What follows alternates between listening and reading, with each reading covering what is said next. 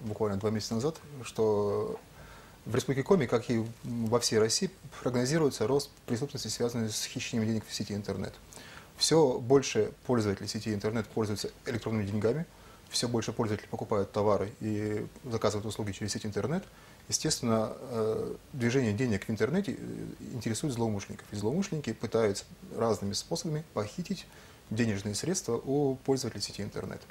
Э, к сожалению, многие пользователи не знают элементарных правил безопасности и покупаются на вроде бы простые уловки мошенников. По-прежнему самым распространенным видом мошенничества в сети интернет является покупка товара в несуществующих интернет-магазинах. Люди, которые вышли в интернет, они видят, что цены в интернет-магазинах часто отличаются от цен в реальных магазинах на, один и тот же товар. И поэтому они, естественно, стремятся сэкономить и э, купить товар подешевле. При этом они не проверяют этот интернет-магазин никакими способами, не читают про него отзывов, uh-huh. не смотрят, есть ли у него какие-то э, реальные реквизиты, перечисляют деньги в никуда фактически получается на анонимные платежные системы и лишаются и, и товара, и денег. Потом обращаются в полицию, ищем потом по всему миру этих людей. То есть фактически это в одну кассу? В одну фактически сторону. да, потому что э, очень сложно получить э, ответы из ряда зарубежных стран, где эти мошенники находятся. Обычно это, обычно это выходцы да, из, из России, из стран СНГ. Они проживают в различных странах. Кипр, Израиль, Голландия, Канада, масса стран, Бразилия откуда они совершают э, виртуальное мошенничество. Интернет именно тем и характерен, что сидя в Бразилии, можно обмануть человека, э, кто живет в Искуломе, и наоборот.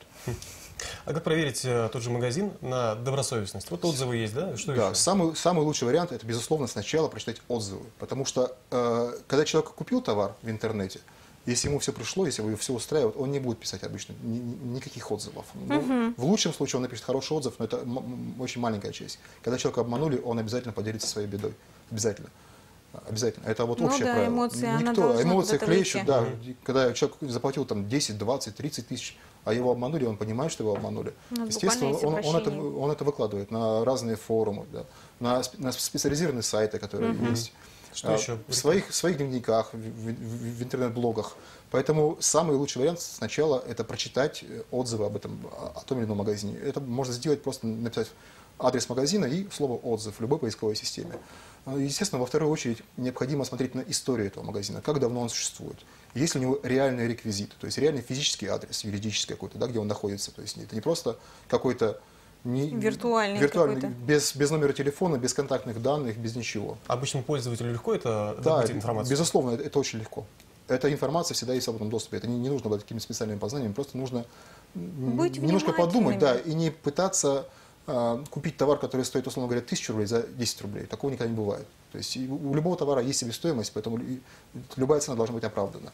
Это в первую очередь. Да. Во вторую очередь, э, по всей России, да и у нас в Коме произошел всплеск э, преступлений, связанных с хищением денег с пластиковых карт.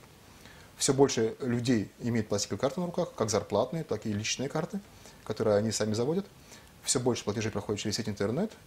Многие оплачивают и коммунальные услуги, товары, э, какие-то поездки, билеты через сеть интернет. Естественно, злоумышленники тоже э, это понимают, что есть э, такой источник заработка. Да, заработка такого черного заработка, и разными способами похищают деньги у законных пользователей карт. Самое опасное – это создание так называемых сайтов двойников, фишинговых mm-hmm. сайтов. Mm-hmm. Это очень распространено, особенно э, с сайтов банковских систем. Э, потерпевший заходит в сеть интернет, пытается зайти на сайт своего банка. Э, если, его, если его компьютер заражен, естественно, он попадает на сайт злоумышленников, и злоумышленники разными способами, они очень изощренными способами выманивают реквизиты его карты, с которой впоследствии снимаются разными, опять-таки, способами деньги. Либо путем приобретения товаров услуг, либо с уже изготовлением копий карт и последующим а как отличить вот, э, вот эти фишинговые сайты от э, нормальных?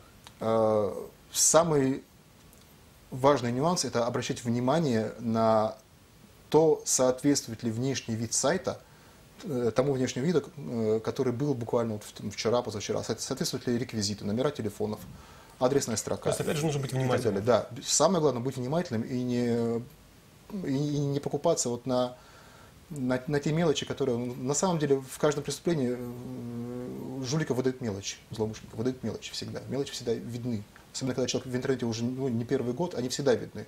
Естественно, неопытным пользователю сложнее, но надо быть просто, просто внимательным. Самое главное. Уважаемые телезрители, у нас работает телефон в прямом эфире 51 67 67. Другая контактная информация, то есть номер ICQ информационного канала, также Twitter. Все есть на ваших экранах. Мы продолжаем. А, хотелось бы еще как раз э, вернуться к пластиковым картам. А, в прошлый раз мы озвучивали цифры как раз-таки преступлений.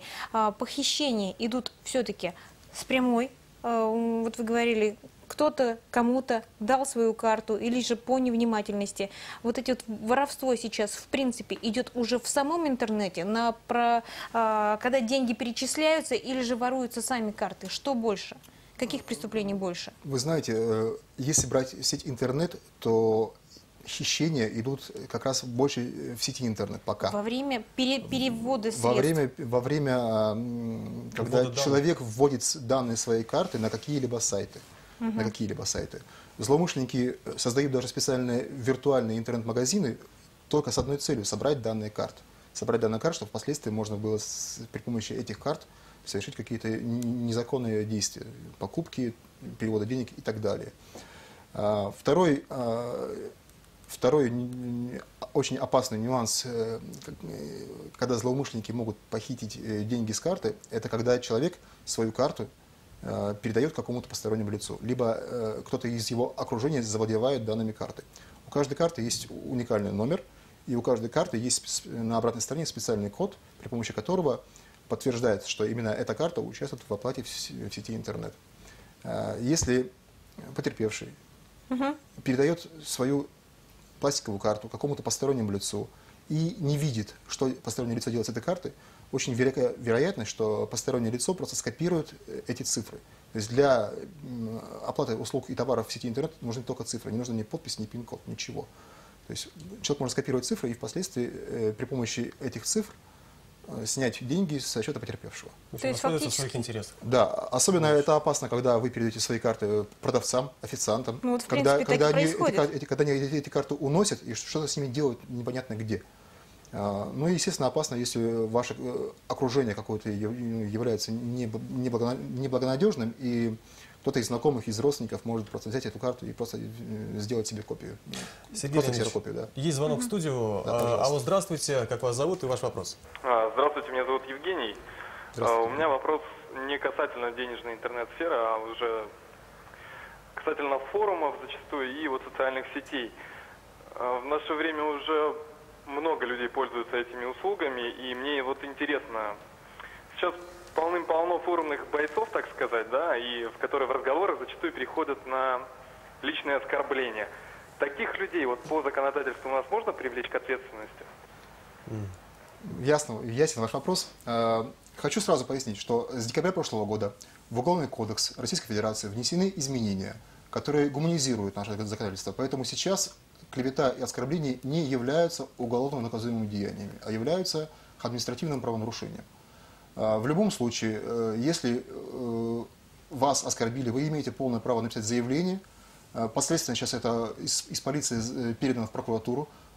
Прокурор вправе составить протокол о выявлении административного правонарушения, клеветы оскорбления. Либо, если вы знаете лицо, вы можете непосредственно в суд обратиться. Но в любом случае, любые противоправные действия, они пресекаются, так или иначе. Спасибо вам за ответ. И у меня следующий вопрос. Э, Сергей Леонидович, э, кроме э, мошеннических действий с банковскими картами, с платежами, есть еще одна статья очень страшных преступлений, это детская порнография. Вообще, как происходит действительно а, наблюдение за теми, кто распространяет или же хранит, или что-то еще вот делает с этой порнографией? А, и были ли прецеденты, что людей осуждали, на какие сроки? Да. А, ну, ну, ну, действительно, на самом деле Россия не стала э, уникальным местом во всем мире. Замечен рост интереса и распространение детской порнографии. Поэтому в массе западных стран в последние годы очень ужесточено наказание за, за создание и распространение порноматериалов с, с участием детей. В России тоже в последние годы наказание стало довольно-таки весомым. А сейчас наказание за создание, распространение, хранение с целью распространения детской порнографии от 3 до 10 лет лишения свободы. Но, к сожалению, а, то состояние общества, которое сейчас есть, то состояние морали, которое сейчас есть, интерес к детской порнографии, э, возможность свободного обмена информацией привели к тому, что очень много лиц, которые скрывали свои, свои пристрастия, они сейчас в, в сети интернет имеются, они mm-hmm. объединяются по интересам, безусловно, они обмениваются информацией разными способами, они э, обсуждают, как уйти от правоохранительных органов, как э, совращать детей, как, где можно выкладывать, как можно продавать и так далее. Естественно, работа по борьбе с такими людьми, она ведется во всем мире, и в России она ведется. Она является одной из основных э, функций, которая стоит перед нашим отделом. Это борьба с созданием и распространением в сети интернет детской порнографии. Еще, еще, несколько лет, еще, да, еще несколько лет назад э, ряд специалистов в данной области говорил, что основной поток детской порнографии идет из России. Сейчас, слава богу, Э, те усилия, которые предпринимаются нашим отделом и нашими коллегами по всей России, и, коллегами из ФСБ, и с, с Интерпола, они позволили сказать, что ну, в России стало гораздо меньше, гораздо меньше стало преступлений, связанных с созданием и распространением, это безусловно. Но, к сожалению, э, эти преступления выявляются, продолжают выявляться, причем их выявляется больше, не потому что их стало больше, а потому что их стало больше выявляться. Э, выявляются, да, я предвосхищу ваш вопрос, выявляются они во многом благодаря активности интернет-пользователей. Э, в сети интернет существуют специальные ресурсы, э, которые созданы при участии общественности, э, на которые можно сообщить о выявлении того или иного противоправного контента, в том числе распространение порнографии, в том числе и детской, безусловно. Вся эта информация, в том числе и анонимная, она собирается и передается в соответствующие отделы по регионам, отделы К, безусловно. Mm-hmm информация вся регистрируется и проверяется однозначно. Поэтому преступления, связанные с распространением детской порнографии, они действительно ну, очень серьезные, и мы намерены дальше с ними бороться. То есть, если человек нашел э, контент, который не, да. не, э, Случайно не разрешен, или да, да безусловно, он, он да. может э, эту да. информацию отправить? Да. Он может отправить информацию любым способом. Он может найти в интернете э, ресурсы, которые посвящены борьбе за, за, чистоту интернета, их масса этих ресурсов масса. Он может э, обратиться непосредственно в, в любое отделение полиции, в любой, э, в любой правоохранительный орган. Он может непосредственно обратиться в отдел К, свой регион, в том числе и наш отдел, по электронной почте, по телефону, через Твиттер, неважно, любым способом. Угу. В общем, любым способом, да. Любая информация, она даже, даже анонимная, она будет проверена, никто эту информацию не выкинет никогда, потому что это очень важно. У нас есть еще один звонок в студию. Пожалуйста. Алло, здравствуйте. Говорите. Алло. Да-да-да, говорите. Коротко вас, ваш вопрос. Здравствуйте. Здравствуйте. У меня вопрос такой, у меня вот ноутбук начинает что-то разговаривать по-английски сам. Так. Что там может быть? Все, а. все что угодно может быть, Я на самом думаю, деле. что это не по теме вопрос. Ну, может, не по теме вопрос. На самом деле, все что угодно может быть. Э, я полагаю, что на самом деле ваша проблема связана с какими-то настройками каких-то программ. Вам нужно э, а, либо к специалисту обратиться, либо внимательно посмотреть, какие у вас программы установлены, и их проверить. Совсем немного времени осталось, буквально минута. На следующей неделе как раз-таки начинается акция, которая организована вашим а, отделом К. «Безопасный интернет». Да. Что это за акция, в чем ее суть и на кого направлена, где будет производиться? Да. Минута. Значит, Данная акция проводится по всей России, безусловно. Она, она проводится как раз с целью э, предупреждения преступности в сети интернет. В рамках этой акции будут проведены профилактические беседы, будут разосланы памятки, будет дана информация в разные средства массовой информации о том, как уберечь себя от э, злоумышленников в сети интернет, потому что все больше и больше пользователей.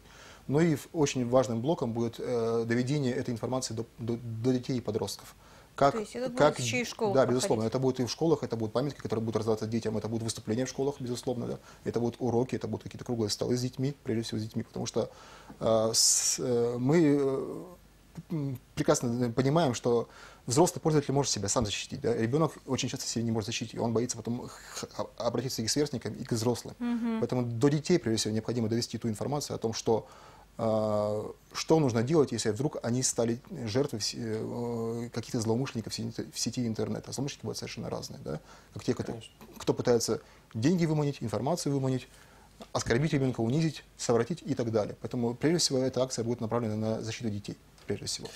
Спасибо, Сергей Леонидович. Спасибо. Я напомню, что сегодня в гостях личным прием был руководитель отдела КМВД по Республике Коми Сергей Огородников. А мы продолжим сразу после рекламы.